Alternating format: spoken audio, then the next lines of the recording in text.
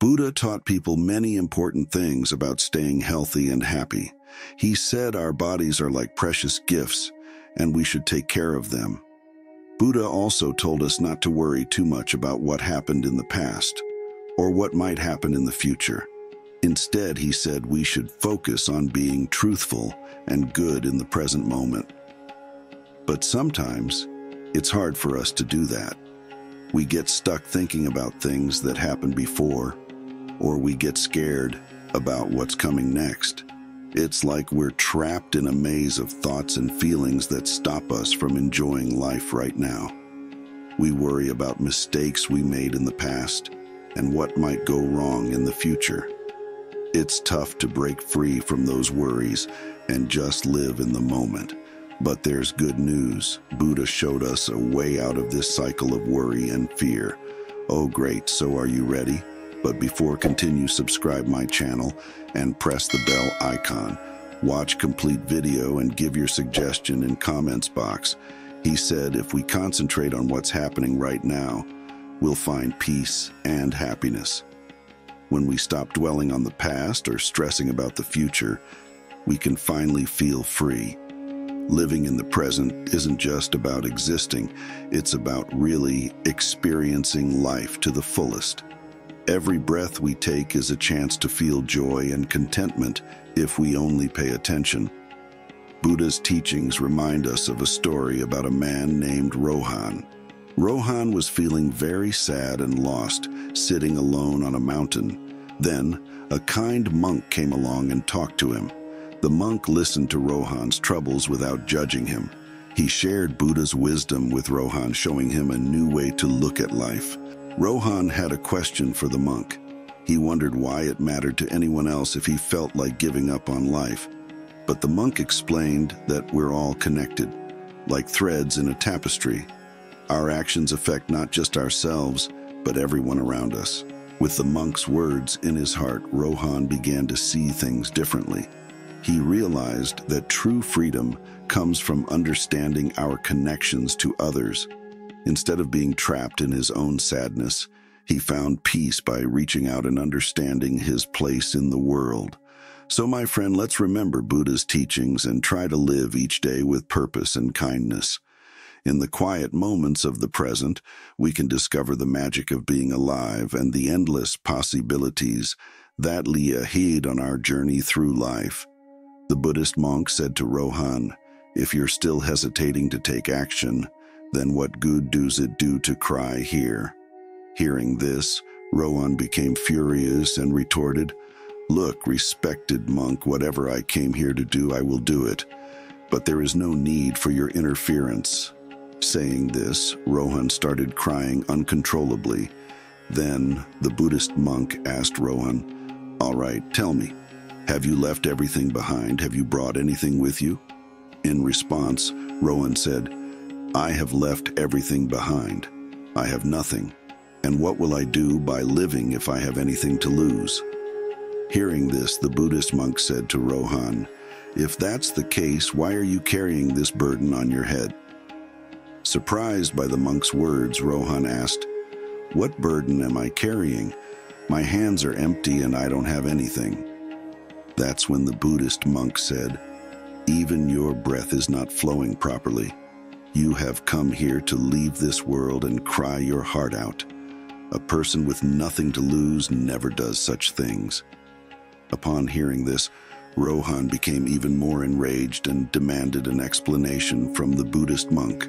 What do you mean by that? he asked. The monk replied, Have you ever attempted to look within yourself? How much burden have you been carrying? How heavy is the weight on your shoulders? How long do you plan on carrying these burdens? Unload them here and lighten your load. How long will you allow yourself to be trapped under these burdens?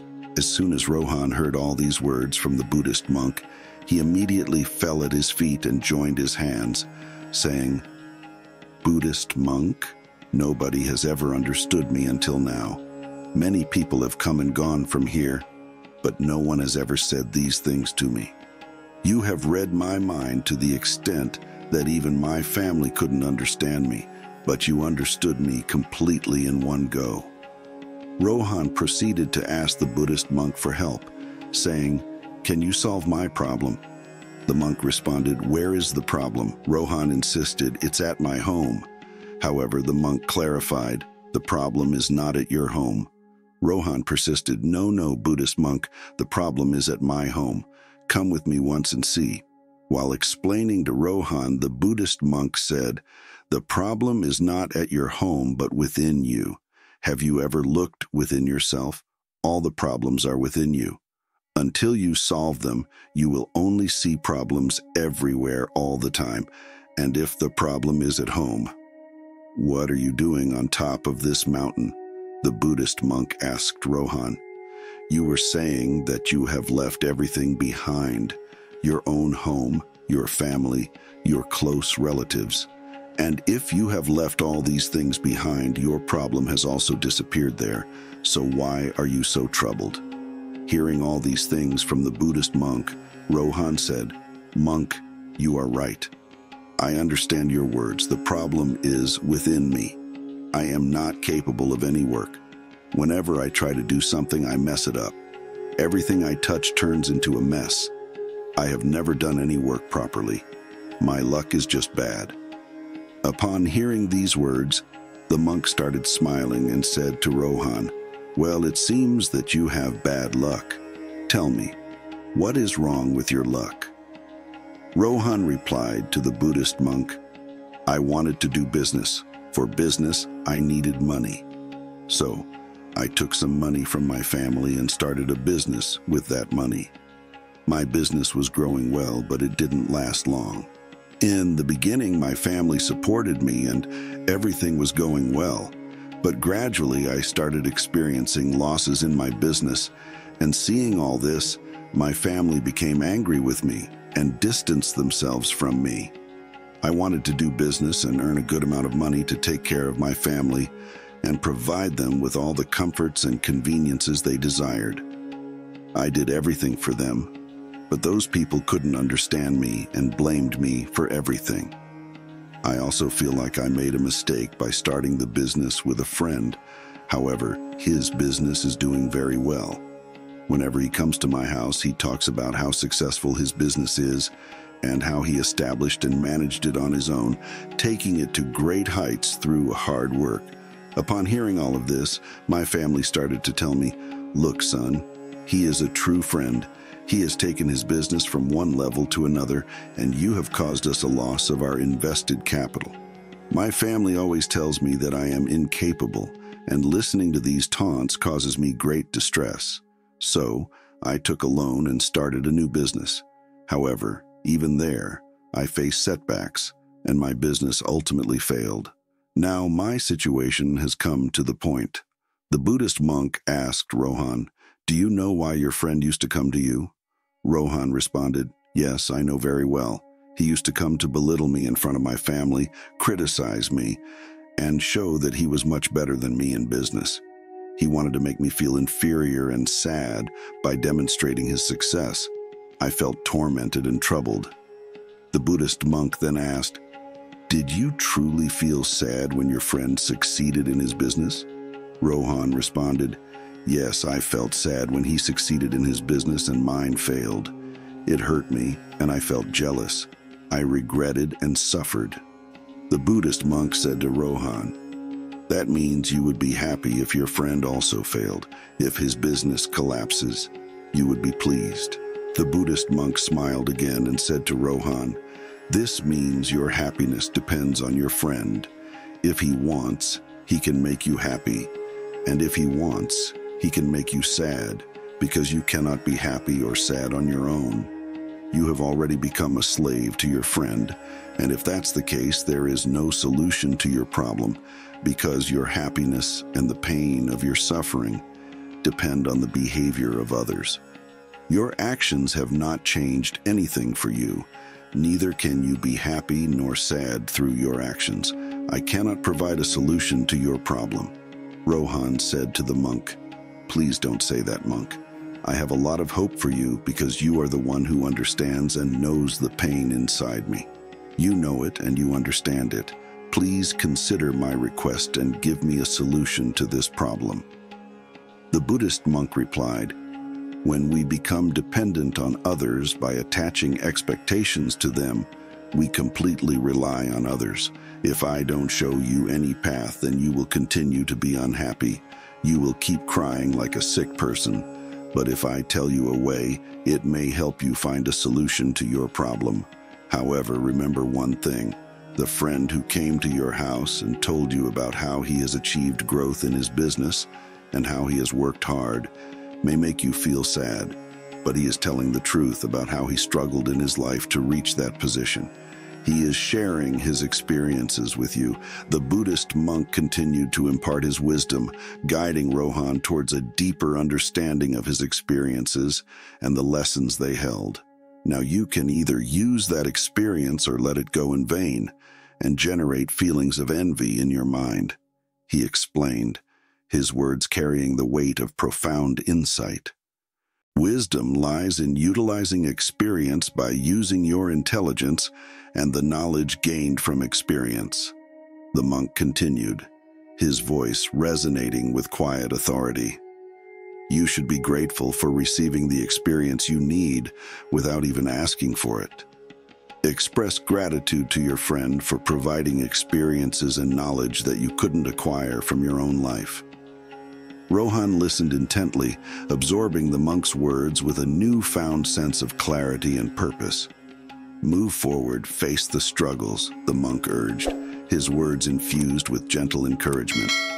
Use that experience and don't give up. One good thing about time is that it always changes, no matter how it is, the monk remarked, his tone contemplative. Therefore, whether the time is good or bad, it is certain to pass. But the most important thing to understand here is that you need to stay alive to witness these two times. Rohan nodded in understanding, his mind racing with newfound determination. Once you experience success, you will grow your business through the challenges and reach greater heights.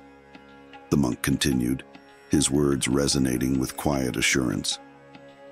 Then, your acquaintances will not share stories of their accomplishments, but instead recount their failures. To avoid making incorrect choices and prevent yourself from suffering the same fate, utilize your intelligence rather than relying on their words, the monk advised, his voice imbued with wisdom born of experience, as they will not be seeking to make you happy, but rather to see you suffer. Hearing this, Rohan's eyes widened with realization. Oh, Venerable, you are right, he acknowledged, his voice tinged with humility. I am not running my own life, but my relatives and friends are running it. They are filling my life with happiness and sorrow. But I have one question here, Rohan continued, his brow furrowed in thought. When I started my business, I intended to keep my family happy. I wanted to give them those comforts and joys. Is it wrong to think about my family? The monk's gaze softened, his expression gentle yet firm. It is not wrong to think about your family, he replied, his voice calm yet resolute. But it is important to recognize that true happiness lies not in the external trappings of success or wealth, but in the love and connection shared with those closest to you. As you navigate the challenges of life and business, remember to prioritize what truly matters, the well-being and happiness of your loved ones, the monk advised, his words carrying the weight of timeless wisdom. In doing so, you will find fulfillment and purpose beyond measure. With a grateful nod, Rohan absorbed the monk's words, his heart filled with newfound clarity and resolve. Armed with the wisdom gleaned from their exchange, he embarked on a journey of self-discovery and growth, guided by the timeless truths imparted by the venerable monk. As Rohan shared his struggles with the Buddhist monk, a sense of resignation hung heavy in the air. I was doing everything for my family, but after incurring losses in business, even my family left me, Rohan confessed, his voice tinged with bitterness and disappointment. Upon hearing this, the Buddhist monk's serene smile remained unwavering. What's there to smile about? Did I ask any wrong question? Rohan questioned, his frustration palpable. The monk's response was gentle yet profound, revealing a deeper truth that resonated with Rohan's innermost thoughts and emotions. Every person expects consolation when they make a mistake, and you desire the same as well, the monk explained, his words carrying the weight of universal truth. Everyone wants to be praised when they do something, and not receiving that praise hurts us deeply. It wounds our hearts. As the monk spoke, Rohan felt a stirring within him, a dawning realization of the underlying motivations driving his actions. This is when we start to think that everyone in this world is selfish, the monk continued, his wisdom cutting through the veil of disillusionment. Everyone works for their gains and interests, and everyone stays with us for their purposes. But if you consider someone as your family and want to do something for them, then why do you feel like you're doing it for others? The monk challenged gently, his words probing Rohan's deepest insecurities. You are doing it for yourself. If you think you're doing it for others, you will remain unhappy throughout your life. When you realize that you're doing it for yourself, you will experience a strange happiness, and you will always be content. Rohan listened intently, the monk's words sinking in and reshaping his perspective on life and relationships.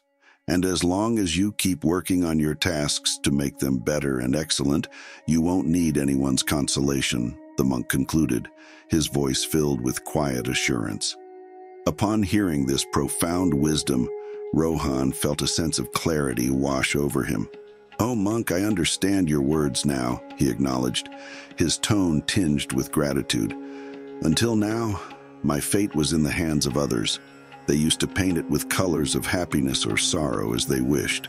But since I will hold my destiny in my own hands, whether it's good or bad, I won't accept defeat. Finally, Rohan turned to the Buddhist monk with a renewed sense of determination. I understood all your words, but can you give me something that can support me during the worst times of my life? Something that can accompany me? He requested earnestly. In response, the Buddhist monk presented a small box to Rohan, its contents shrouded in mystery. It is very important to you and should be kept close, the monk instructed solemnly. The box contains a secret that can alleviate the greatest sorrows and rescue you from the most severe calamities. Only open it in situations where you feel there is no way out and everything appears meaningless. With a sense of reverence, Rohan accepted the box its weight heavy with promise and possibility. As the Buddhist monks departed, leaving Rohan with the precious gift, he felt a renewed sense of purpose and resolve coursing through his veins. Returning home with the box clutched tightly in his hands, Rohan embarked on a new chapter of his life with renewed determination. Starting a new business, he persevered through every challenge, drawing strength from the mysterious box and the wisdom imparted by the Buddhist monk. This time around, Rohan achieved great success, and as a result, his family returned to him, drawn by the magnetic force of his resilience and determination. Now, he enjoys all the comforts and pleasures of life, his past regrets and fears fading into insignificance. With a newfound sense of clarity and purpose, Rohan embraces each moment with gratitude and joy, knowing that life's trials and tribulations are but fleeting moments in the grand tapestry of existence. As time marches on, he remains steadfast in his resolve, guided by the timeless wisdom of the Buddhist monk and the mysterious secret contained within the small box, a beacon of hope and resilience in the face of adversity. Once again, a good phase had come to an end in Rohan's life. The neighboring state had launched a devastating attack, leaving his homeland in ruins. His once thriving business lay in shambles, and he found himself facing unimaginable hardships alongside his family. Forced to flee from one place to another in search of safety, Rohan's resources dwindled until he couldn't even afford food and drink. Hunger gnawed at their stomachs, and despite his best efforts, Rohan watched helplessly as his parents succumbed to the harsh realities of their new existence. His wife and two young brothers fell ill, their health deteriorating with each passing day. As they wandered, homeless and destitute, Rohan's mind became consumed with questions about the purpose of life itself. The once vibrant world now seemed meaningless, and the advice of the Buddhist monk he had encountered felt equally hollow in the face of such profound suffering. Penniless and directionless, Rohan spiraled into despair, convinced that his life was devoid of meaning. The idea of striving for success felt empty and futile, and even the prospect of his own existence held little appeal. He regretted not having the bravery to make something of his life, feeling disappointed with every aspect of his existence. Lost in thought, Rohan's gaze fell upon the small box given to him by the Buddhist monk. Inside, he found a note bearing a simple yet profound message. Your life can change for the better at any moment. You may be rich or poor, but with courage, you can accomplish anything. Those words sparked a glimmer of hope within Rohan's heart, igniting a newfound sense of determination and resilience. With renewed courage, he resolved to embark on a new journey, determined to carve out a better future for himself and his loved ones. And so, Rohan began anew, facing each day with unwavering resolve and optimism. Though the road ahead was fraught with challenges, he refused to be daunted, drawing strength from the belief that with courage and perseverance, anything was possible. As we reach the end of this Zen journey, the Tranquility Insights team would like to express our deepest gratitude for your incredible support. We invite you to subscribe to our channel, share our message with friends, and leave your comments for us. Together, let us continue to seek wisdom and inspiration on the path to a brighter tomorrow.